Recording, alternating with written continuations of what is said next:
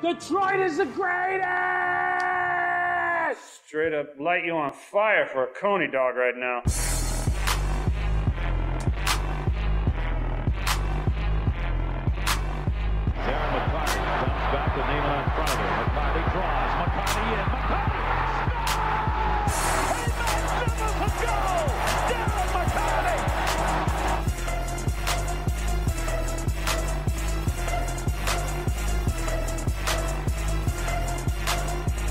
Stafford takes, throws, end zone, Calvin, touchdown, Detroit Lions!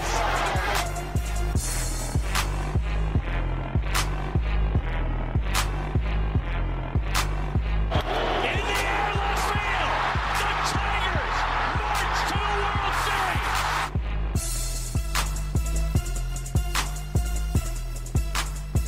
Series! Motor City Sports Rant, DetroitSportsPodcast.com. I'm Vinny Stubbs. Sitting across from me is the doc, John Macaroon. John.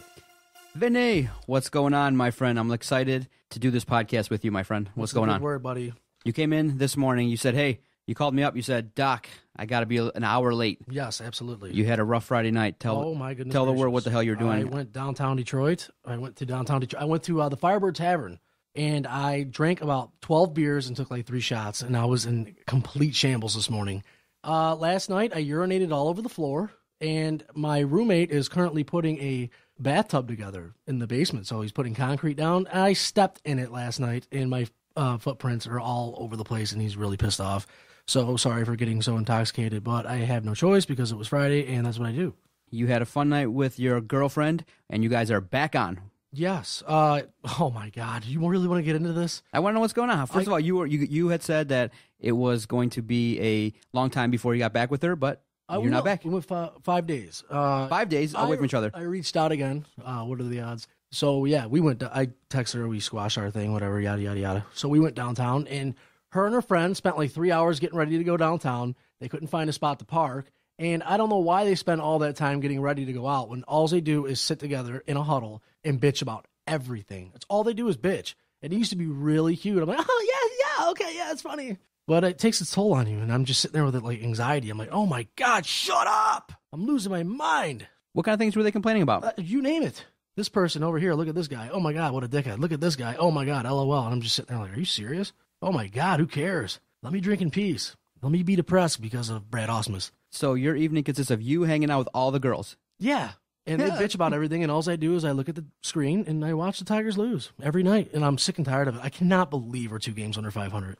It is, it's disgusting. It's the sickest thing I've ever seen in my life. Yeah, we, we have a lot of time to talk about bad news. We got to talk about other things uh, because What's I told good? I will not. Is there good news in Detroit right now? I told the audience that I was going to work on fixing you and fixing your problems. I want you to feel better. I want the radio hosts around town to treat you nicer and not to call you out. I want them to tie in Vinny Stubbs with positivity and hope and not uh, mental illness. Good and luck. so the reason why I've decided to try and help you, I am a psychologist. I feel like you know we've we've had you on the podcast. You're doing a great job for the Motor City Sports Rant.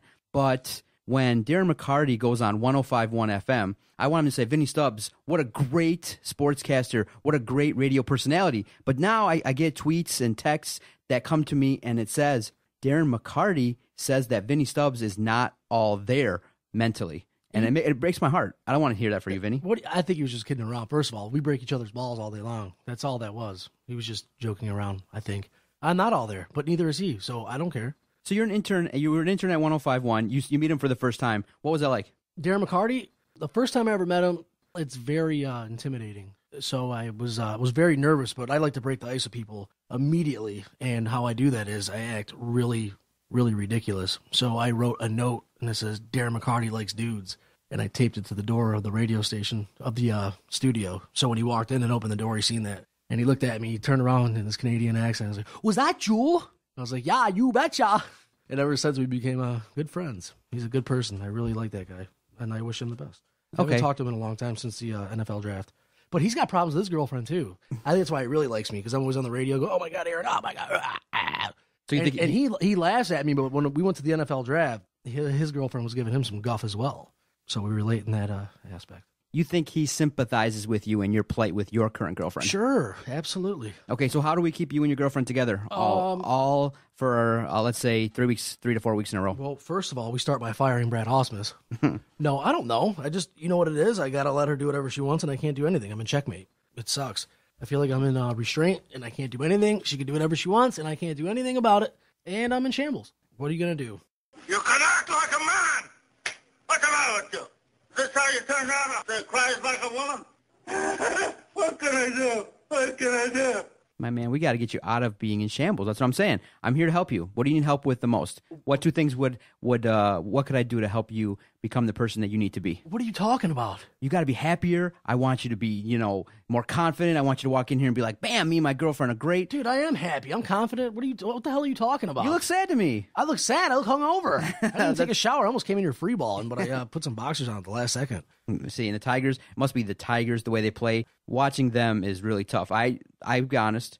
Justin Verlander versus Rick Porcello. I, di- I didn't tune in, oh, and I didn't. I knew. I heard it was a great pitching performance. The Tigers still lost in extra innings. It was disappointing, but hey, JV pitched better. Seems like whoever wanted to lose more won.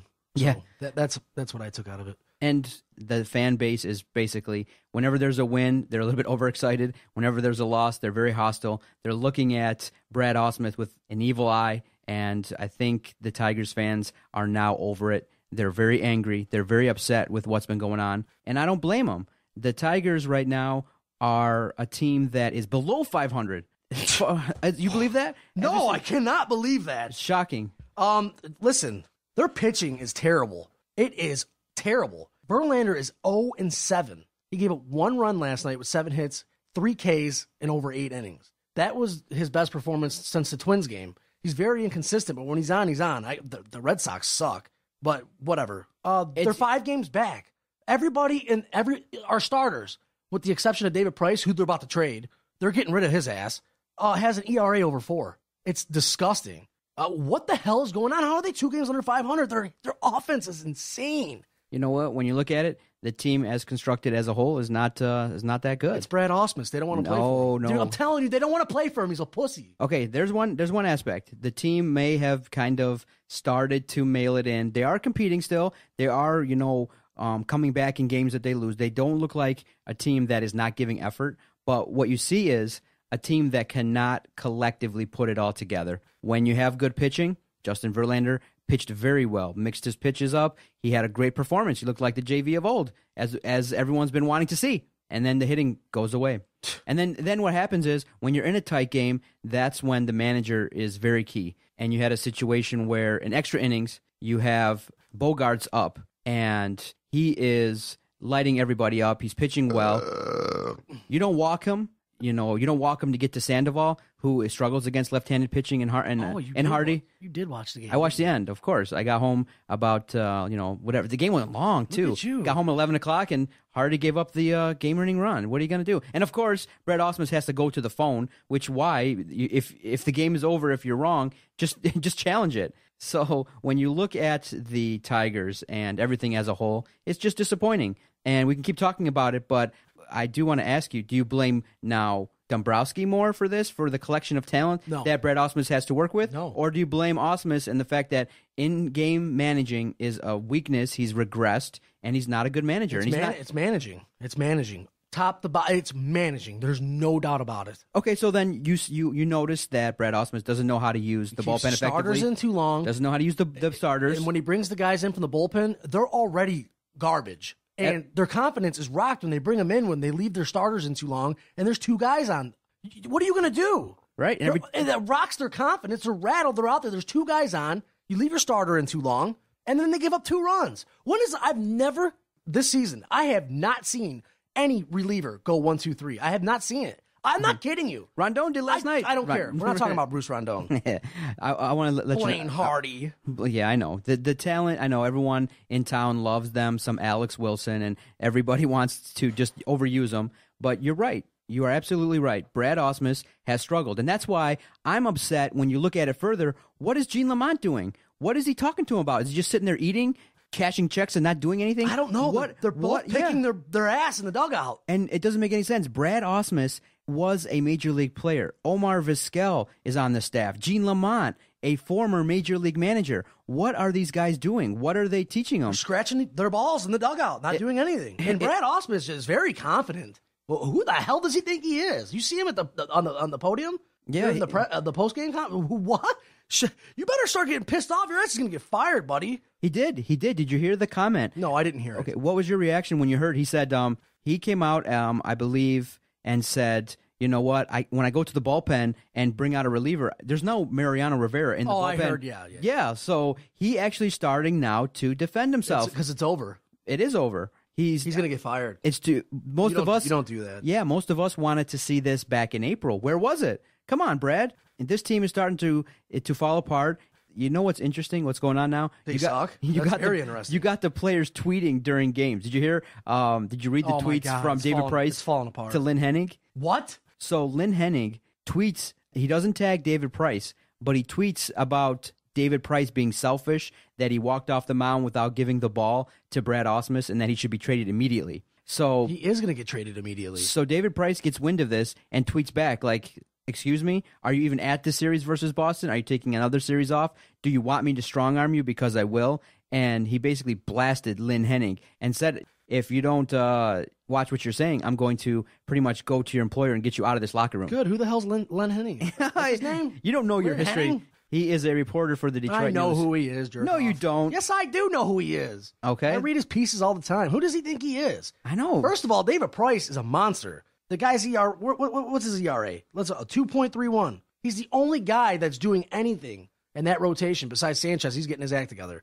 His ERA is starting to dwindle, and I'm very happy. But they're two games under 500, so I'm pissed off. Uh, David Price can do whatever the hell he wants. First of all, he's the face of the franchise on the pitching staff. So uh, you you come to the Tigers and you you be an ace, you kick ass, and you be two games under 500 and have Brad Austin be your manager. I wouldn't hand him. I would put my I would pull my pants down and personally hand him my balls. Okay, so I'm with David Price on this, and he's gonna get traded no matter what he says. He says that he uh he wants to win in Detroit, but whatever. And then I read an article that uh where where did I read that article at? Uh, the Free Press, Steve Schrader. Uh, Price won't be back with the Tigers traded or not, according to Ken Rosenthal. I don't know how he knows that, but I guess the contract price uh, will command is beyond the Tigers' comfort level. So there you go. There you have it. Uh, they're going to be sellers, and if they're not sellers, they're, going to be buyers. You're either going to get Dan Haren from the Marlins, which he's 34 years old, or this uh, James Shields character from the Padres. He pitched for the uh, the Rays and the Royals, and Andrew Cashner. Uh, Shields is 8 3 with an ERA of 3.77, and he struggles with walks. And he's owed $21 million next year and $21 million the year after that. You can't afford that. No. Uh, so what you got to do is sell, and it's over. Okay, so There's now- no World Series run, and this team is going to be uh, now, do you, apart. do you have confidence that if they No, do I sell, don't have confidence in anything. No, what, they're going to make a run no that, that if they if they sell that they'll bring in pieces to help this team for the in future. to rebuild. no, because Dombrowski's walking out the door, and you got Brad Ausmus. Uh, Are they going to fire him? Is Dave Dombrowski going to resign here? It's over. It's starting. To, it, it's it's falling apart, and it all started with uh, Doug Fister. This organization has kind of decided, and you're right, that it's time to take a step back, look at the payroll, look at the players, look at the management. We never won a And- World Series, man. we didn't I win it. can't believe it. You're mad, huh? Damn it. It's it sucks. Absolutely sucks, and it, and everyone should be mad. But I do think that it's time to kind of you know put that aside and think how do you rebuild this team? And because you got a lot of older players making a lot of money, but so that's why I'm now uh, taking away the anger a little bit. I am disappointed, yes, that we made this run and didn't win a World Series. We didn't cash in. But if you have all these pieces, Kinsler. David Price, Yoenis Cespedes. Oh, my god! You can move those pieces, get some guys They're in here move that those can help. guys. They're gonna, but Vinny, you can go out and still get a Cespedes in free agency, so you can get something for them, move them out for a couple months, and next season retool. You you're gonna have to do that, and If I they're buyers and they continue to be under, They're not gonna be buyers. No, they're not. It's they're they're I struggling. know. They're struggling versus Boston and Seattle. a little bit here. They're struggling versus Boston and Seattle. They're not gonna be buyers. That'd be stupid. I know. and it's it's frustrating, yes, but you got to now start looking at. Uh, sorry, Vinny, you got to start looking at the rebuild. The rebuild? It's time to rebuild. It's over, man. And their farm system's garbage. Dombrowski's walking out the door. He's going to go work for the MLB with Joe Torre. It's over. It's over. Who are you going to bring in? Al Avila? Oh, next. I, I I don't know what to say anymore. It's over. They ne- they never won a World Series. It's frustrating. Uh, unbelievable, man. I, I Are you still- are How you still- long are we going to wait now until they rebuild that? What, what, Are you still willing to, to tune in to watch the Tigers, even though to see what, kind of what else struggle am I going to watch? Okay. XNXX? Yeah, I will. But when I'm done, what else am I going to watch? The Tigers. Going forward, they are going to need to add to this team and rebuild, rebuild the minor leagues, and do some things to help this ball club. Oh my God. What what what can I say? What can I say here? What can you say? You can say you have hope that they will make the moves and, and decide. I think it's time to decide to pull the trigger because here's what's going on. They're taking their, they're taking their sweet ass time. Scott Kazmir's already off the market. What are you waiting for? Pull the trigger. Teams are already starting to make their moves. They're waiting until the Red Sox series is over. It- it- It's a terrible decision, right? They should be on the forefront of making these moves because they're scared. Yeah, if you wait, if you wait, everyone else has pieces to add, and you're if you're going to be on the um on the defense instead of being proactive. They should think about moving Cespedes, moving Price. Problem is, is they don't want to admit it's over and they don't want to sell, and they're mm-hmm. they're waiting for the very last second. You believe? Yeah, you believe that they are basically They, they grasping can't, they at can't straws, believe yeah. it either. They can't believe it. so thank you, thank you, Brad Ausmus. Thank yeah, you. they're grasping at straws. It's unbelievable. It's it truly is unbelievable that this team is two games under 500. Oh, I as can't recorded. believe it. Is, isn't it crazy? Yeah, it's really crazy. It, it's it's insane. The worst part is you have David Price and Verlander pitching back to back, and you don't get wins. Yeah, you got Shane Greene too. And it's it's unbelievable where if you don't win when Price Verlander pitches, eh, Sanchez has kind of rebounded nicely, has has had some good pitching performances, but Greene and Simon, look out. Um, Sunday night, Greene's going to pitch nationally televised game versus Boston, 8 p.m. ESPN. It's going to be embarrassment. What? Yeah, Sunday night. Wow, that's more embarrassing than watching the Lions on NBC. That's pretty bad. It's going to be bad. There's there's two guys in the lineup, and Cabrera's not even in the lineup that are Mm-hmm. batting over 300. So the only guy batting over 300 is Iglesias, 324. Miguel Cabrera is blasting reporters on Twitter. Is he? Yeah, it's it's one of those things where. What do you think about athletes on Twitter? I never asked you about that. Athletes have a forum I gotta be to. completely honest with you. I don't scroll through my news feed on Twitter. Those guys need to shut the hell up, though. Seriously, I, I, I don't care. I really don't care. It's your opinion. Say whatever the hell you want. I don't care. I go on Twitter to put things that are offensive on there, so I don't really care. I don't. I, I, what am I gonna do? Scroll through my news feed all day long on Twitter? I wonder what David Price is doing. Currently picking my ass in the dugout. Dude, I'm so pissed off at Brad Ausmus. I, I, listen, I don't give a damn about Twitter. You don't give a damn. So you, you say I you don't say- care about Twitter. I You say if you have the forum, use it. You're not. You don't really get their information, so you hear it from me. Yeah. I'm the one that's on there uh, scrolling through the yeah, I, newsfeed. I don't know how you have time. I don't have time. I work ten hours a day at least. okay, so you, you 12. give I'm the not going on Twitter. you give the athletes a pass. You don't really care. No, I don't give a damn. Okay. Okay, so then okay, I think they need to be. okay, you're mad at Brad Ausmus, and when you talk and you look at what's going on around him, people are kind of saying he's safe, which doesn't really make sense to me because if Dave Dombrowski's gone, then a new general manager, if it's going to be Avila, um, the current assistant general manager Avila, then maybe Ausmus is going to be safe and they trust him. But I don't believe that you can sit here and say that Ausmus is safe. He's a bad manager. Yeah, his man his managing skills have regressed. It's unbelievable. it's completely unbelievable. but the same and at the same time, the pitchers, the the hitting goes away at inopportune times. It's just one of those things where I think a new I think if you really wanted to salvage this season, you would move Ausmus after the Boston series. No, you can't fire him right now, can you? Yeah, why not? What's to say? I know they're not Oh, going to do I, it. I, honest to God, I'd be happy. They I, I don't think do it. anybody ever deserves to lose, lose their job. no, not saying this guy deserves to lose it, lose his job. You He have really to. does. You have to because There's way too much talent on here. yeah, he needed to take a bench coaching job. The inexperience is showing, and it's very disappointing. I agree. At the beginning of the year, I, I, I predicted them to go 500. Right? Yes, you did. uh, I took a shot in the dark. I didn't want them to go 500. I wanted them to go get into the playoffs. But with that bullpen as it's constructed, I, I knew it was a disaster, and I didn't know anything about Greene or Simon. And then Greene's first two starts, holy hell! Look what we got. We struck gold. Dombrowski's a genius. He's not a genius. It's over. Whatever. What are you gonna do? They're two games under 500. Okay, so last I gonna say? last week Kinsler throws a bat and gets ejected. Don't you think that maybe a message should have been sent and he should have been sat down for a game or two No. by the manager? No, You- you- Hell you no. No, he wants to win. I'd break a bat too. That w- I like that. that was Bush League. It shows that he cares. that was Bush League. Dude, the team's falling apart, and they're too talented to be, to be falling apart like that. So what are you gonna do? I, I would break a I would break a bat too. No. I, I don't. I don't if you're mad, if you're mad at an umpire, you know what? You get to you go to the dugout, blow off steam there. You don't intentionally throw a bat back at the umpire were you because really you got, think you got that was towards the umpire? Yes, he was. It was. It was, it was definitely He got intended. ejected for it, dude. Uh, He you got to ejected. That was a bad move. Everyone's frustrated, John. Everyone's pissed off. And that's where Adam and I have talked about on our podcast. Who's the leader on this team? Who's the guy that's going to rally I don't- everybody? I don't Nobody. No one. There's no one there. A guy like Kinsler's making sixteen million dollars. You can't be flinging your bat and getting ejected from games every single every single game. He needs to be there. They're so bad. And you can start. I see why when he was having a hot streak and he was playing well, people were saying, "Well, why did Texas give up on him?" He's a sixteen million dollar a year player, and he's his numbers don't justify it. He's great. He's, He's great. a good infielder. He's a good infielder, but his, his, average is going up too. He's just, he has no power. His numbers, I don't see it. His Okay, numbers if- are garbage. Some rumors are swirling that maybe the Yankees may come calling for him. Go Make the move? ya. Yeah, put Romine in the spot. I don't care.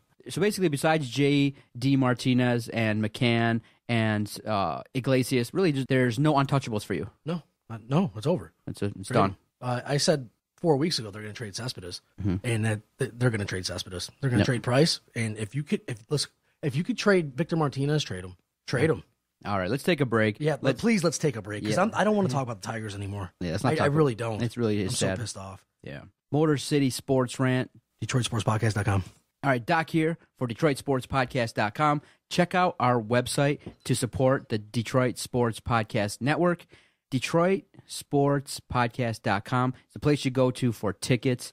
Great online deals 24 7. You can go click through the banner links. If you shop at Amazon, click through the Amazon banner at Detroit DetroitSportsPodcast.com. And when you make a purchase through Amazon, they kick us back a little something, and it allows us to continue to provide two great weekly shows, some special interviews from time to time. We are adding two more shows a Detroit Tigers podcast and a fantasy football podcast.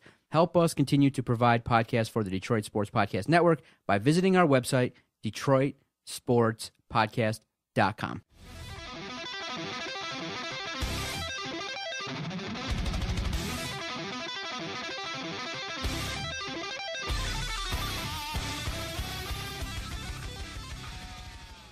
Motor City Sports Rant, DetroitSportsPodcast.com. John, Yes, sir, Vinny. I was um, getting my car fixed, and I got I knew I had to sit for a couple hours. is that your car right there? No, that's not my car. That's uh that that is the wife's car out there. Oh, wow. Yep, and that's the car actually that I got fixed. It's a Mercedes um, 240 SX or something like oh, that. look at you. Yes, sir. Aren't you lengthy? Yeah, And uh, so I knew I had a couple hours to fix the brakes. So I picked up a NFL Mm-hmm. Oh, magazine. you know how to fix brakes? No, I took it to Bell Tire. Oh, my God. Bell tire. That's your first mistake. Mm, Took it to Bell Tire to get it fixed, and picked up an NFL magazine. And guess who's on the cover? Smack dab. Who? Matt Stafford. Matthew Stafford on the cover. All right. And uh, it was a decent preview magazine. It's got a lot of information about every single team, their ups, the downs, the issues going on with them. And it was a very, very interesting read. And uh, with the lines, they basically talked about um, a couple things with Stafford. And here's what they said they said that last year, Lombardi, Caldwell definitely tried to rein in Stafford, but that Stafford became overly conservative. They didn't tell him to not take chances. They told him to just kind of watch the turnovers, um, be careful with the football. And they said that in the magazine that um, it's called Athlon Sports Pro Football Preview. It said that Stafford will be will be encouraged this year to throw the ball more downfield and to take more chances. That the, the coaching staff just kind of told him, "Hey, you can still throw the ball downfield. Just be careful and pick and choose your spots." And then he he took it to a, a whole nother level. So this year, Last year, he only he, reduced his interceptions from um, 19 two years ago to 12 last year. This year, do you think he's going to have more or less than 12 interceptions? More. Yeah, I think so too. I think that he's going to be a little bit more of a gunslinger. He's going to take more chances. You got confidence that he's going to be effective doing that? No, I don't. You don't want him taking more chances. I think this is the best offensive line on paper that I've seen so far for the Detroit Lions. And I'm 26 years old. And that's the best quarterback they ever had. I like Matt Stafford. He's very inconsistent. So for this year, I, I think he's going to throw 22 touchdowns again, 23, 25 in that range. And I think he's going to throw 20 interceptions. you think he's going to throw more interceptions? Yes, I do. So that's a, that's an issue. That's Yes. a big issue because an issue. you're saying that he can't take more chances without turning the ball over more, Correct. and that's a big problem then with your number I, one I think quarterback. they'll look good starting off at the- at the beginning of the year, but you got seven. Uh, you got seven uh, nationally televised games, and every time the Lions are on uh, national television, they look lethargic, just terrible. And they got seven of those, and they got Ameer Abdullah. Hopefully, the guy pans out. It's the best O line I've seen on paper. The guy's a fumbling machine. So what are you gonna do? I, I see Stafford in games that are on the line. He could either come back and win them, like he did last year. He won, came back four times, I think, or he could throw interceptions. And I think he's going to throw interceptions every time they have a, a double-digit winning uh, season. The next year, garbage. So get off your phone and uh, talk to me. Listen, I'm kind of surprised that Stafford was told last year to kind of rein it in. Yes, he is a gunslinger. Yes, he is a, a person that uh, has the mentality like a Brett Favre to take chances. But I think this year, I think it's going to be important for them to actually be more conservative, not to throw the ball more. You have drafted an offensive line to get more balance. So what they're saying is, what the coaching staff is saying to Stafford basically is, listen, you could take a chance only if you're going to be successful. If Calvin Johnson's wide open, if Golden Tate's wide open, and, and things like that. If Eric Ebron's wide open and drops the ball, so it's it's one of those things where I personally would say, in my opinion, run the ball more, be a little bit more conservative, and take the chances when it's the defense shows I it. honestly don't give a damn as long as they go 11 and 5 again because that was really cool. And please win a playoff game, uh, but I don't see them going to the playoffs. And then and then this week, a lot of talk has been about Stafford's ranking. One, and, Oh, and- uh, we, we, we talked about it last, time. week. Was it yeah. that Vinny uh, Iyer guy? Yes. Oh my god, Ranked low, but now this magazine has him uh, number eleven. that's so too high. That's still too high. Yeah, So and, and most people are thinking Stafford ranks right there in the middle between like the- ten and fifteen. yeah. Okay, so then I want to ask you this: If you're a big fan of the Eagles, if the Eagles had a chance to get Stafford, you want him quarterbacking your team? Yes. You take Hell, Stafford all day. are you serious? Yeah, I'm serious. You know how good Matt Stafford is? Vinny, These listen, guys don't uh, fall off trees, oh, buddy. okay. He's very inconsistent, yeah, but the guy is a very good quarterback. Okay. His arm is sickening, but he's very uh, inconsistent. If he's a very good quarterback, why did the coaches rein him in last year? Because he turns the ball over too much. How is he a good quarterback then? he's a good. He's, I just said he's inconsistent. Sometimes he looks great, sometimes he looks terrible. What do you want from me? He's an inconsistent quarterback. Okay. That's what you're going to get out of him. What What do you see in Matt Stafford? I don't know, dude. He's been here a decade. You tell me. What is he going to do this year? He's going to be very inconsistent. He's going to look good at times, and he's going to look really bad at times. It doesn't help when you have two tight ends that suck. One guy can't catch, one guy can't block or catch. Okay? Uh, oh, so you're saying some of the factors that the reason why he's inconsistent is that the talent when he's not good. on, the guys are dropping balls, fumbling, and when he's off, forget about it. Just go 11 and 5 again. I don't see you going 11 and 5 again. You got a really hard schedule. But I think I think Matt Stafford's I don't know, man, cuz he's been here for what, 8 years? Uh, this I think he's going to be in He his hasn't seventh. Mm-hmm. won a playoff game yet. John, that's a big deal. Okay, Adam, Adam, you don't need a, a decade. Adam Zimmerman on Twitter says, "Of course, we no problem him, with him throwing more. Every quarterback makes mistakes, but Stafford is constantly running for his life. Can't make a throw from your back." I understand that, especially on the road. That's a good point. Yeah. So you, you think the offensive line will give him more time? And I don't that- know because on paper it looks good, but what the hell do I know? It could be really good. I think they're gonna have they're gonna flourish in the first half of the season and dwindle in the second half. That's my honest. I think they're gonna go eight and eight. I really do. They got Okay. a hard schedule. I I like Matt Stafford. First of all, he was drafted by the Lions. If he was on the Eagles, he would already won a playoff game. Sorry, the Lions on paper they're way better than the Eagles, but for some weird reason, the Eagles go to the playoffs and they win the game or two, and they suck too. I hate the Eagles right now. I love the Lions, man. I want them to do good. I really do. But what are you what are you gonna do? Just win. That's all you gotta do. I'm sick and tired of hearing it. Yeah, they. I, I'm. Th- I think they're poised to have a good season. I don't because Suh's gone and he makes a huge impact. What do you got? Eight and a half sacks. You replace him with Haloti Ngata from a three-four defense, and Tyrunn Walker he had a sack last year. The pressure is going to be cut in half, and that means the linebackers get exposed and the secondary gets exposed. You understand?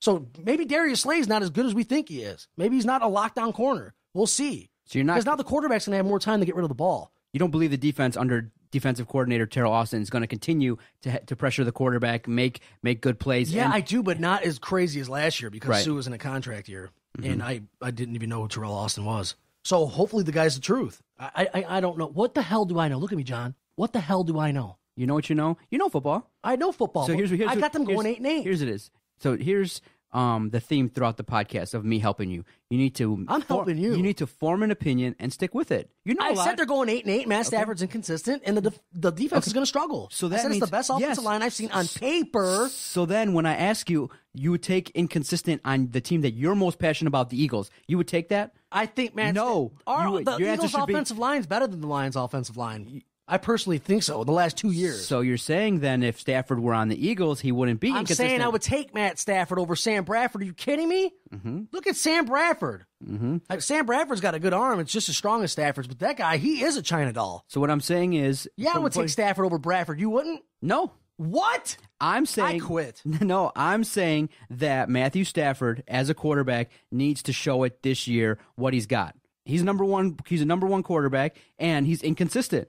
as a number one drafted overall quarterback, you should be having playoff wins. You shouldn't be in- inconsistent. no you shouldn't having your coaches rein you in. You shouldn't be uh, kind of having the offensive line basically loaded up for you. You should be able to kind of handle it. This is it. This is the year. this is the year. Uh, this is the last year I'm giving Stafford. Yeah. And it sucks because I don't know who the hell they're going to replace him with. So This is his last year to win a playoff game. I'm getting so pissed off at him. All right, tell win me- a playoff game, dude. tell me a little about this M Live story from Abdullah that you uh, kind of were uh, talking about in the meeting. Um, let me see. Uh, Yeah, I read this uh this piece. It was on M Live. I believe the gentleman's name was hmm, Justin Rogers. He said that the rookie round uh he said rookie could round out potentially dynamic running back rotation, and I put LOL to that. Today we hit on the running backs. Uh Joique Bell, Ameer Abdullah, Theo Riddick, blah blah blah blah blah. The breakdown. Despite an announced intention to be more balanced offense in 2014, the- the Detroit Lions continued to struggle running the ball consistently. The team finished the year ranked 29th in the league, averaging 3.6 yards per carry. That's insane, first of all. Detroit was hurt by the inability to break long runs. No kidding. Only two teams had fewer carries of 20 or more yards than the Lions, six. The good news is projected starter Joique Bell closed the year very strong. Not, not really. The veteran ranked up uh, 547 yards on the ground in the second half of the season, averaging a healthy 4.4 yards per carry. That's more like it. Due to nagging injuries to Reggie Bush, whatever, Detroit lacked a second reliable ball carrier. Oh, in addition to Abdullah, the Lions also drafted a fullback, snagging Rutgers, Michael Burton. I don't even know who the hell that guy is in the fifth round. Anyway, this guy blows off Ameer Abdullah, saying that they're going to be a dynamic backfield, and this guy's the second coming of Jesus. Okay, He's so- a lion slappy Justin Rogers. So uh, the guy is a fumbling machine. You, you personally, looking at Ameer Abdullah, are not a fan. Uh, yeah, I'm a fan. Uh, uh, yeah, what? Okay, he's a, he's a younger Reggie Bush. He still fumbles the ball a lot. That speaks volumes to Theo Riddick. And, and once again, Martin Mayhew, you can't draft. What do you got?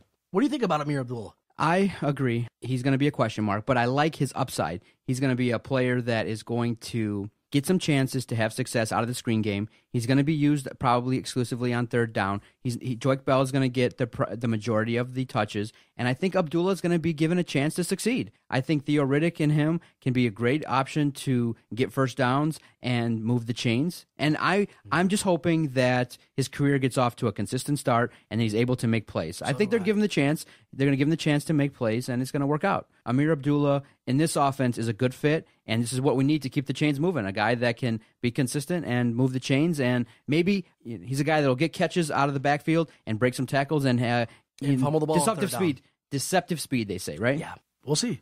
Go 11 and 5 again and win a playoff game. You win a playoff game, and I'll get on the bandwagon. All right, let's check in a little bit about uh, some news and notes that were in this uh, magazine regarding the NFL. A couple preview topics that this magazine had was really interesting, and uh, we'll talk about it a little bit and get your opinion on some news and notes regarding the NFL. The first number one topic that people were talking about the Seahawks recovery. Are they going to recover from the disastrous, most talked about, most analyzed play in Super Bowl history? Oh, dude. the gist of the point was Pete Carroll maybe lost his team that night because no because look at that you, division they play in. No, you don't- Of course, they're going to go to the playoffs. you don't you don't have a play that's scrutinized that much and Marshawn Lynch has a right to have a beef. You set up the organization set up Russell Wilson to be the superstar when the right call was to have Marshawn Lynch take the ball win the game. And Pete Carroll is going to have to kind of mend some fences and to really own up to the fact that he really blew a chance at an organization to win the second Super Bowl. Yeah, You think the Seahawks are going to have a good season this year? yeah.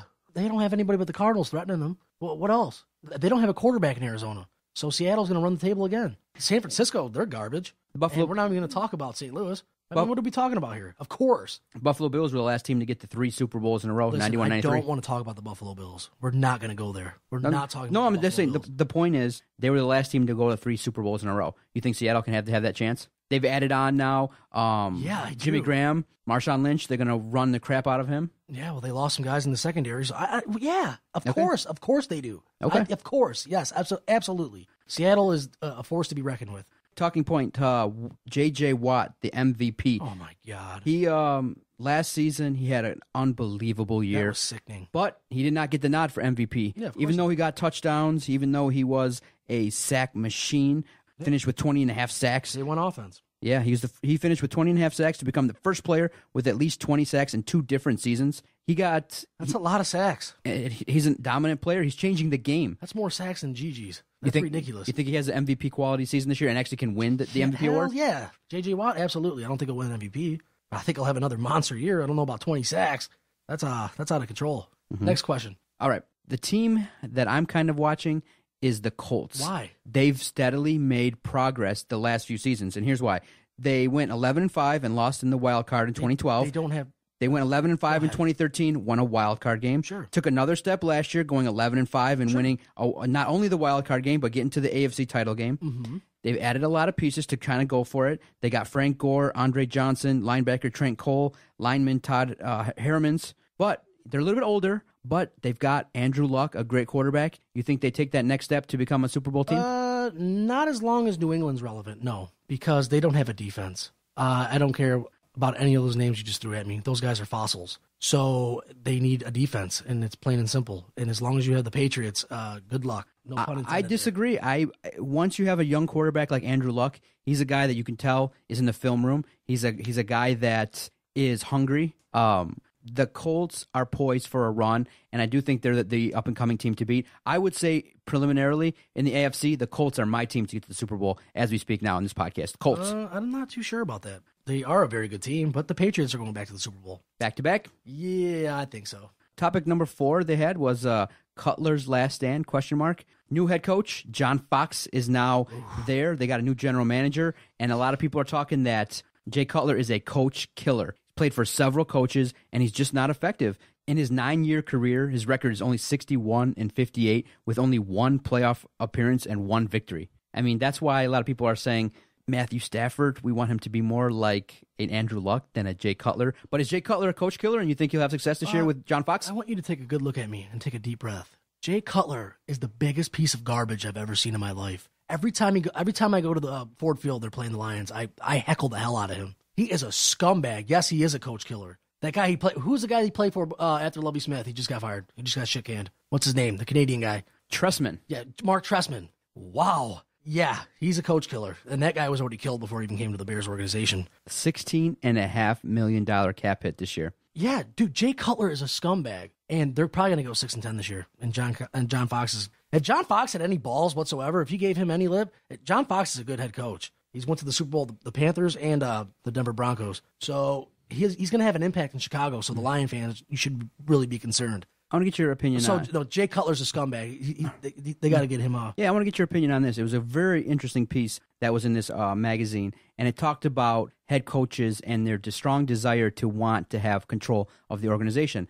John He should. Yeah, okay, well, listen. John Fox took the team, took the Denver Broncos to the Super Bowl. They didn't have success in the three years he was there with uh, Peyton Manning, but they noted that John Fox had disagreements with John Elway regarding the future of the team and how to get them to the next step. So, so John Fox has that great success, yet he gets moved. On, he gets moved on. Yet a guy like um, Belichick, who's won the Super Bowl, he's had ultimate success. Right. Um, I just think sev- El- se- has high standards and Se- win a Super Bowl. several coaches have moved on because of beefs with management. And it's, it's really interesting. I just think that the coaches have had success running the organization, but not too many. So that's why I, I'm fascinated as to why coaches want to have that much control.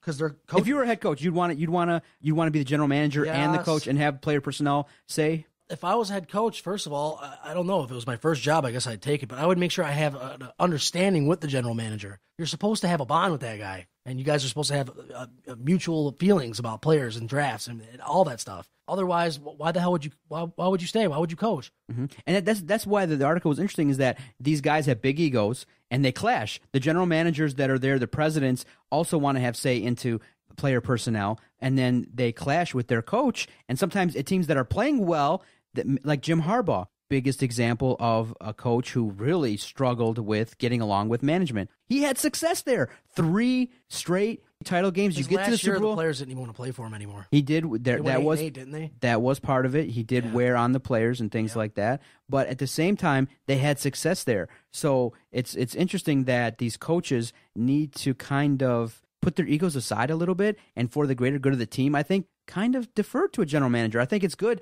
to work together with people for the greater good. I think John Fox should still be in Denver. I don't think he should have left there. I mean, why did you have to disagree with Elway? I'm just I'm just uh I'm just interested in, in how people work together, and it's, it's interesting that coaches with big egos don't know how to don't know how to work uh, with general managers sometimes, and it hurts organizations. I cares? I think John Fox should still be with Denver. I think Harbaugh should still be with the 49ers. It's just that uh, egos get in the way, and it's an interesting topic. All right, last talking point: Suh's impact with the Dolphins. Uh, not talking about it. biggest impact. Big noise in free agency, getting Suh for a record-breaking deal, signed one hundred fourteen million dollar contract, Ah, sixty he'll never million live up in the it. first three years. Oh my god. Suh, twenty-eight, has two hundred thirty-nine tackles, thirty-six sacks the past five seasons. You think he's going to have an instant impact on a defense that was twelfth overall last year? Suh could be on the Jacksonville Jaguars and have immediate impact. I don't even know what kind of question that is. Of course, they're going to have instant success. But I hate Suh and I hate the Dolphins. So whatever. And a lot of people are That's my surprise team, by the way. year. Dolphins. Yeah. a lot of And people are uh,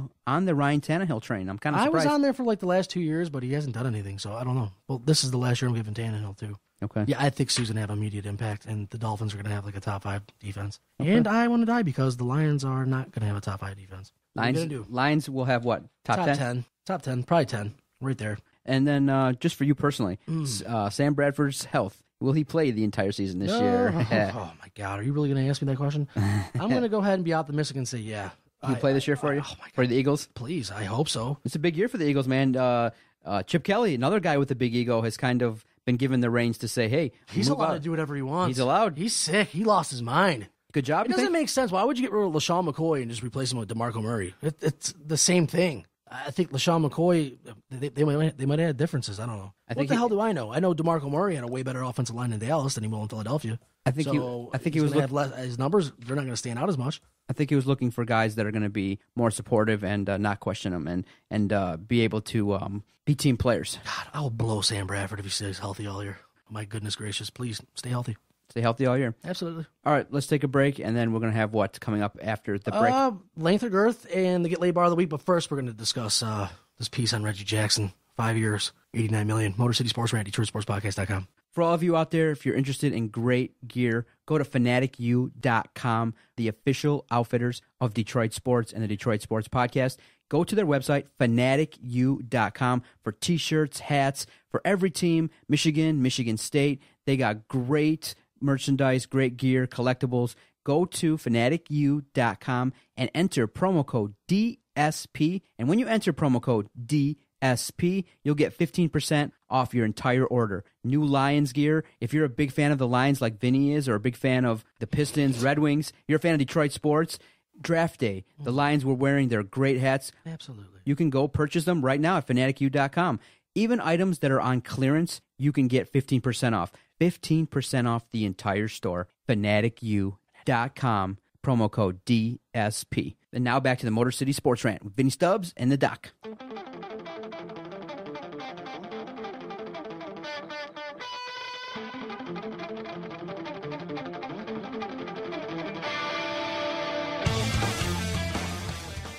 Motor City Sports Rant, DetroitSportsPodcast.com. Uh, John Macaroon, dude. we always have to thank the sponsors uh, Detroit Beard Collective, Fanatic U, Sport Displays, Jersey Mounts. And also, we want to give a special thanks to Detroit Sports Nation. They host our podcast, they are uh, a big supporter of our project. That's why we're able to also put together all these shows, is that we got great support from our sponsors and the Detroit Sports Nation. So check out DetroitSportsNation.com, another great website covering everything Detroit sports. All right, Vinny, Reggie Jackson. Oh, yes, absolutely. Very- I, I like Reggie Jackson. He's very inconsistent, but I read this really, really good piece on this guy. And it comes from Sports Illustrated, and it comes from a gentleman by the name of Will Laws. It was a good piece. Um, he pretty much defecated all over uh, Reggie Jackson. And uh, this is what he said. Are you ready? Only Kevin Love, Marc Gasol, Kawhi Leonard, and Jimmy Butler were guaranteed more money this summer than Reggie Jackson. Keep in mind that Detroit's newly highest paid player has a worse career PER, which stands for Player Efficiency Rating. You with me? Yes. Are you listening to me? Uh, he's the highest paid player. It has the worst career uh, player efficiency rating than Jeremy Lin. Even though Jackson uh, is contri- he contributes on defense, that's a damning assessment of Jackson's offense uh, offensive ability. Sorry, you simply don't pay someone of that caliber the same amount as John Wall, no matter the salary cap. Okay, I liked it. That was a good piece. Yeah, And he said uh, for all those that praise Jackson earns uh, for his uh, tenacity on the the, uh, the defensive end, opposing teams' offensive ratings were less than one point worse with him on the floor last season. I said that in the podcast back in April. You don't remember that? Unless a 25 year old has some unforeseen breakout in Motown, the Pistons are, will probably rue, R U E, paying Jackson like a star. John Macaroon, dude, get off your phone and talk to me. What do you I- think about that? I, I found that really interesting. It was, it was that's an honest assessment. That's realistic. It's a- Five years, eighty nine million dollars. Five years, eighty million. Sixteen I million. said year. I seen eighty nine. eighty. It's eighty. It's eighty. That's still way too much. It's it's a lot of money, and he he this guy better be Jesus Christ. 20, Seriously, in twenty four games that I watched, he was very inconsistent. very inconsistent. He had great games, but there were games when his shot was just off. And when you watch, when you get a, a max contract like that, you're you're expected to deliver right away. And and I don't know if he's going to live up to that contract. And Stan Van Gundy believes in him. So with the preseason, with uh, I trust with Van training Gundy. I just think camp, that was a lot of money. it's too much money. Yeah. And what's that say for Brandon Jennings? Is he done? Is he going to be a six guy in Detroit? Or are they They're- going to shit can him? I think they're going to showcase him to try to get something for him. Oh, there you go. But uh, but uh, a guy like Reggie Jackson is going to be um, it's going to be very important that he that he creates his own shot, that he that he gets the offense, um, that he gets the team into the flow of the offense quickly, and that he's a guy that is very he has to watch his shots.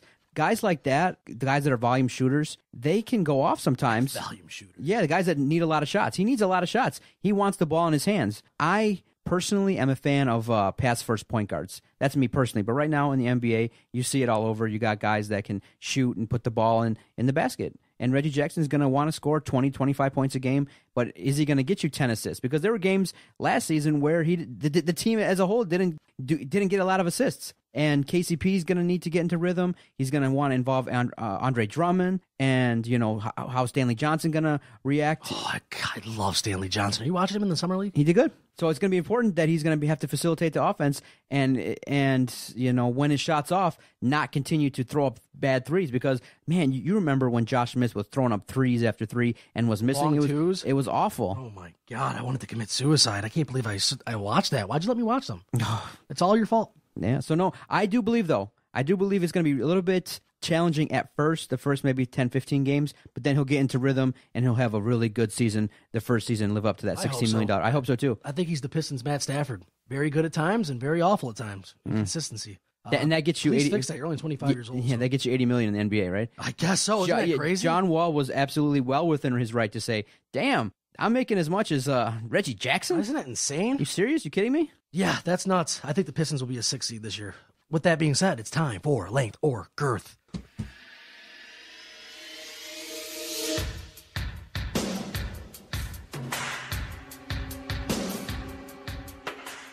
Length or girth? Uh, macaroon, dude. Question number one: The Tigers, forty-seven and forty-nine. Um, Brad Ausmus is the Antichrist, and I don't want to live anymore. Length or girth? Uh, Tigers under five hundred. John. Length. Yeah. I think that the Tigers are a team that struggles consistently on several aspects of the game, Yep. and they don't. They lack confidence. They lack a good manager in game, and the bullpen is atrocious. so oh, it is. Yeah. Oh, okay. The bullpen is atrocious. So this will continue. You remember now, this is still July. In August, we got series versus uh, Kansas City and Houston. They could embarrass us. It's teetering, they would say. Um, this I'm could bottom out Yeah. quickly. I'm going to go length, and it- it's going to bottom out. It's going to get really ugly.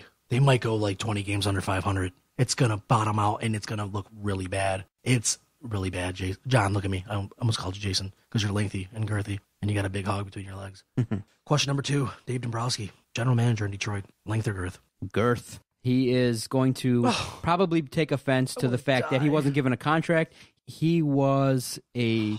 He's probably looking at this as a big dis- uh, sign of disrespect Oh, that he didn't get a sake. contract, and he's going to be courted. And I do think that for everybody, everybody involved, I don't think it's because he did a bad job. It's because it's time for a change of scenery, and his time in Detroit will be over when this season is done. Just just based on the fact that this team, this team had such big expectations with the big payroll, and they did not deliver the goods. Girth. I want to go girth too.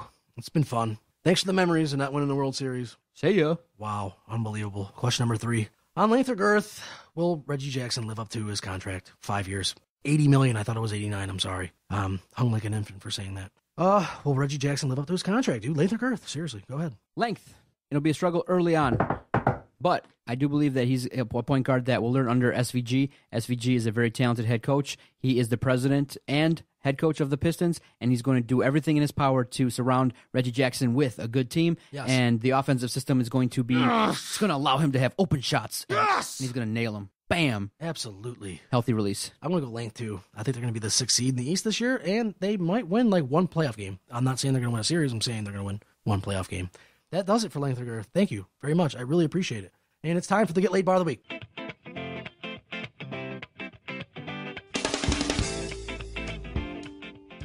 The Get Laid Bar of the Week, Deluxe Lounge, 350 Monroe Avenue, downtown Detroit. The Deluxe Lounge is in the Greektown neighborhood, conveniently located near fine and casual dining establishments with Ford Field, Comerica Park, and Greektown Casino in walking distance. That doesn't matter, your penis is due. Four to one woman to stud ratio with compl- uh, compl- shit on my chest. Complimentary shuttle to all stadiums, concerts, and sporting events. Show your confidence and your wiener. Who's the boss? And get laid, please. Uh, Rockin' the D since 2004. Motor City Sports Rant, DetroitSportsPodcast.com. Vinny Stubbs back with his girlfriend. It was a good podcast, brother. Thank you, man. I tried my hardest. It was, uh, it, was good. live, so It was I don't good. Really Ti- Tigers made you mad. What's what's going to make you happy this week in sports? uh, hmm. Let me see. If Suh tears his ACL and he's out for the year, to be honest with you. Suh getting hurt. Yeah. Suh getting hurt and What if what if you get a major announcement that Price has been been traded for a good couple prospects? happy and pissed at the same time. I don't want to talk about the Tigers anymore. I, I, I truly am pissed off about this. I so- really am. It sucks. it's over. What are we gonna do? It's over. Maybe it's time to now. Okay, here's what we'll do. Go on Brazzers and no, go home. No, we'll say on the Motor City Sports Rant, it's time to look at um the future prospects. What's in the We organization? don't have any. Listen, you still got to talk about who's there. Bruce Fields. Uh, Who's Jefry Marte? And there was another guy on there that I seen yesterday. I don't even remember his name. that's what I'm saying. Almost jumped off of Greektown last night. Take this guy in the week to look at who's in the minors, who's out there that could be a trade bait, and let's start talking about the solutions. And we, we already know the problems. We've already dissected it enough. Let's us now fix the problem with the Tigers and look at uh, what are we going to do to get this team back into the playoffs and back into World Series contention. Motor City Sports Rant, DetroitSportsPodcast.com. See ya.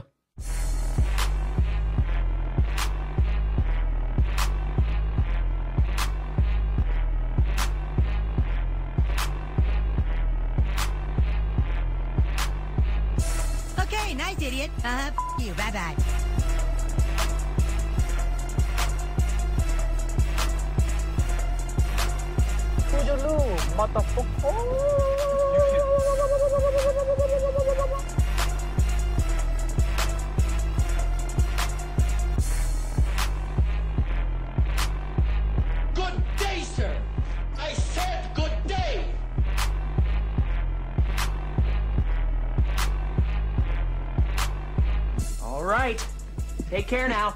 Bye bye then. Loser.